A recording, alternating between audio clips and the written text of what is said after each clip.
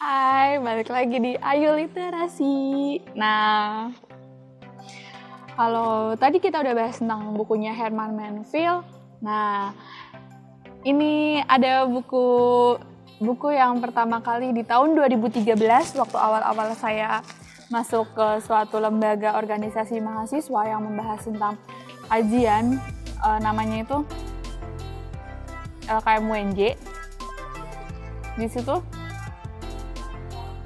saya mulai berkenalan sama yang namanya buku ini. Buku yang menurut saya itu sangat uh, membangkitkan memori saya.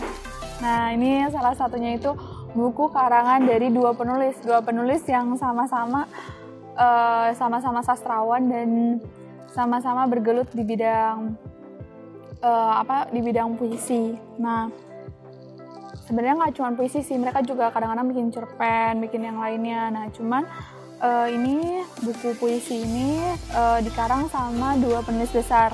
Yang pertama itu kalian kalau misalkan ya udah sering baca yang namanya Trianto Triwikromo dan cara di belakangnya. Nah Nugroho Suksmanto. Nah ini bukunya unik banget. Bukunya itu kalau misalkan ya kalian lihat bisa gini uh, nah cover belakang. Nah ini bukunya bolak-balik ya. Uh, beberapa penulis beberapa uh, dua penulis ini tuh mengatakan kalau misalkannya um, bukunya ini sangat yang namanya membuat kita tuh makin merasa kalau misalkannya hidup nggak cuman yang namanya tentang uh, membangkitkan kebaikan, kebenaran, terusnya siapa yang paling benar atau siapa yang paling salah, tapi di sini kita bisa belajar yang namanya tokoh-tokoh pewayangan mengajarkan kita tentang yang namanya kebaikan sama keburukan. Di sini, uh, nah, kalau Nugroho Suksmanto dia uh, apa, mencari judul dengan cara anak mencari Tuhan. Gambarnya kalian bisa lihat anak-anak yang akhirnya seperti melihat ke bagian malaikat. Nah, seperti masih mencari-cari kebenaran mana yang dikatakan Tuhan mana yang enggak. Nah, tapi di balik sini saya sih lebih tertarik dengan covernya dari ini Rianto Kromo Pertempuran Rahasia. Nah, uh, ada yang tahu ini siapa tokohnya? Kalian bagian suka sama pewayangan? Di sini bisa lihat ini kata pengantarnya juga dari sastrawan terkenal ya dari Sapardi Djoko Damono dia juga mengantarkan bukunya Triwianto Triwikromo. Saya sangat suka dengan cover buku ini karena seakan-akan kalau perempuan itu uh, apa bisa yang namanya um, bisa yang namanya membuat peperangan atau nggak hanya bertahan doang, tapi dia juga mengumpulkan kekuatan untuk melawan yang namanya kemungkaran. Kalau misalkannya di sini bisa dilihat bagaimana yang namanya perempuan sedang uh, mencoba untuk mengalahkan seperti setannya begini. Nah, bagusnya di karangan buku-buku ini ada puisi dibarengi sama yang namanya gambar-gambar. Nugroho Suksmanto dan Trianto Tewikromo seakan-akan merasakan kalau misalkannya puisi juga harus dibarengi dengan gambar-gambar ini terbit bisa dilihat ini terbit di tahun Nah, ini terbit di tahun 2010 Mei tepatnya. Di sini ada banyak sekali yang namanya di daftar isinya bisa dilihat ada 60 60 puisi bagi puisinya Nugroho Suksmanto. Dan kalau Trianto Triwikromo dia membuat yang namanya Nah, di sini ada sekitar 33 33 33 puisi. Nah, uh, saya sangat senang dengan beberapa baitnya itu baitnya tuh menurut saya sangat nyesakan dada gitu. Di situ tuh, nah uh, bisa saya bacakan di sini tuh di gini. Aku ingin menjadi abu, dari arang yang kau bakar dengan amarahmu, ibu. Aku ingin menjadi ibu bagi api rama yang menghanguskan kesetiaanku. kalau bagi kalian yang tahu tentang Rama dan Sinta, kalian juga pasti tahu kalau misalkannya Rama itu menuduh yang namanya Sinta telah berbuat serong dengan Rahwana. Rahwana seakan-akan dianggap menjadi tokoh yang sangat jahat, sangat buruk ketika menculik Sinta dan akhirnya uh, apa uh, Rama tidak percaya akan kesetiaannya Sinta. Bagaimana Sinta di situ kan dia sampai akhirnya membuktikan dengan cara harus membakar diri untuk membuktikan kesetiaannya pada Rahwan eh, pada Rama. Di sini tuh tokoh tokoh-tokoh pewayangan yang akhirnya membuat kita sadar kalau misalkannya dalam tokoh pewayangan beberapa hal yang bisa membuat kita semakin merasa kalau misalkannya hidup tuh nggak cuman antara saya selalu bilang hidup tuh nggak cuman antara baik sama jahat tapi bagaimana kita melihat seseorang dengan dua sisi tersebut. Karena kita juga bukan malaikat dengan sepenuhnya dengan rasa kebaikan dan kita juga bukan setan yang akhirnya selalu aja berbuat jahat tanpa pernah melihat yang namanya sisi kebaikannya. Nah, di sini uh, kalau misalkannya kalian suka dengan tokoh-tokoh pewayangan, di sini ada yang namanya Sengkuni, Durna, Batara Yuda, Destarata, nah terusnya Jayadrata dan yang lainnya. Semakin waktu awal-awalnya kan saya kan orang Cirebon, saya tuh awal-awalnya kurang suka dengan yang namanya pewayangan. Tapi setelah membaca uh, syair-syair atau puisi-puisi ini, saya merasakan kalau misalkannya saya kembali jatuh cinta dengan pewayangan. Nah, di sini ada Bisma Moksa. Nah, di sini api kembali pada api, nyeri kembali pada nyeri, dengki kembali pada dengki. Saya sih merasakan di situ merasakan kesedihan sih. Nah, terus apalagi yang di sini setelahnya itu ada bait-bait cinta lepas dari cinta, duka lepas dari duka, jiwa lepas dari jiwa. Judulnya Bisma Moksa. Dalam artian Bisma itu mati, Moksa itu artinya mati. Meninggalkan segala hal yang telah hilang yang ingin dicapai semua ambisi dan akhirnya kita cuma meninggal atau mati begitu saja. Maka di situ terakhir kayak gini. Maka yang busuk kembali ke tanah, yang remuk kembali ke tanah. Kembali ke tanah, kembali ke tanah. Dalam hujan panah, dalam hujan darah. Bagaimana mati dengan cara diremukan, dipanah, dan itu ketika hujan berlimang darah di situ. Nah,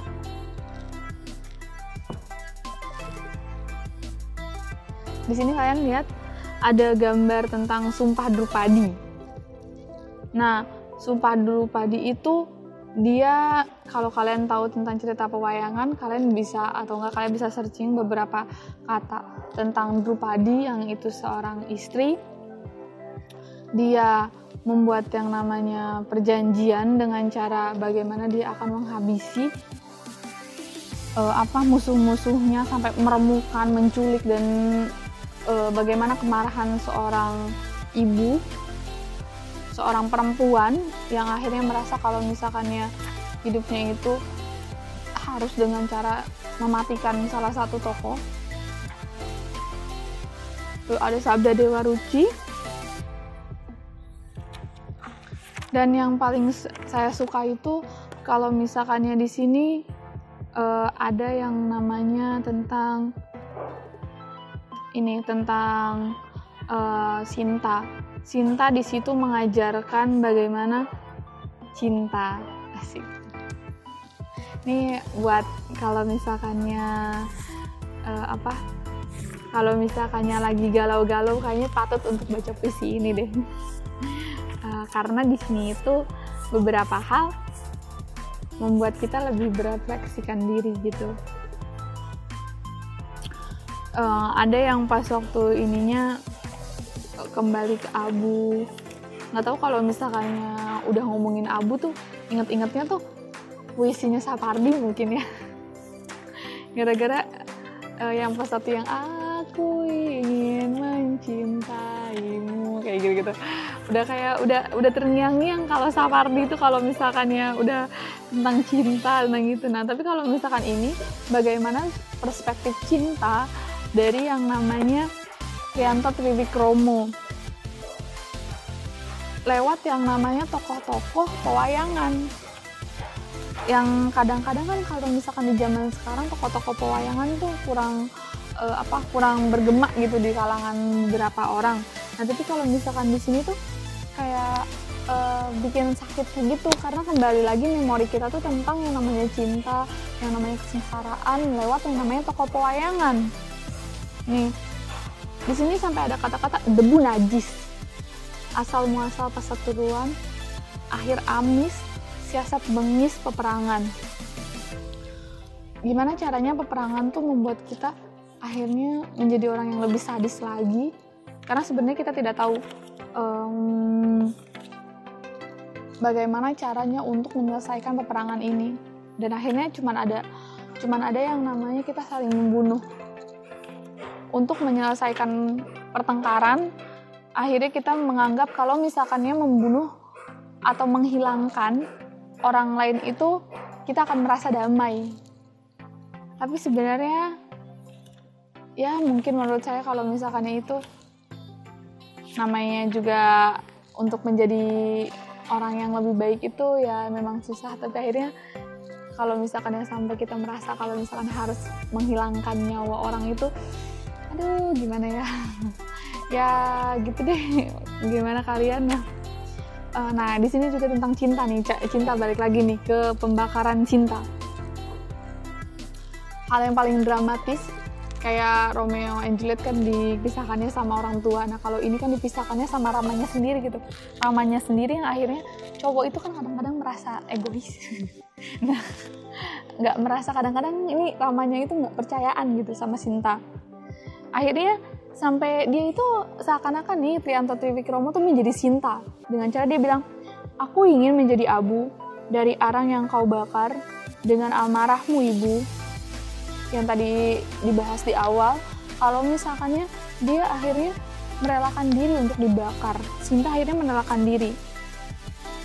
Di sini terakhiran kata-katanya itu meringis miris uh, bikin dada sesak karena dia bilang aku ingin jadi ibu bagi api Rama yang menghanguskan kesetiaanku. Aku ingin. Gimana caranya uh, untuk membuktikan kesetiaan harus terjun ke dalam bara api ya? Bagi Sinta. Sinta yang akhirnya harus terjun ke bara api. Nah kalau misalkan yang satunya anak mencari Tuhan karangan Nugroho Suksmanto dia beberapa halnya itu tentang yang namanya hmm, tentang yang namanya kehidupan di bagian keluarga. Nah, makanya ini nih, keluarga kehidupan yang di, sedang dijalani nih, perihal Tuhan dan agama. Wah, kayak yang lagi seru tuh kalau misalkan yang ngomongin Tuhan sama agama jadi inget beberapa hari yang lalu ya. Banyak sekali kita memprovokasi orang dengan cara pelabelan agama gitu ya. Agama-agama dijadikan bahan ya sampai ditanya nanti agamanya apa gitu ya. Nah, di anak mencari Tuhan itu kalian harus berefleksi tentang yang namanya Tuhan sampai dia itu nanya di kalimat mencari Tuhan di yang pertama itu Tuhan mengapa engkau sembunyi di tempat yang sulit ditemukan keluarlah menampakkan diri. Atau katakan saja sebenarnya kau tak ada. Hingga guru mengajiku tak lagi mengajari. Mencari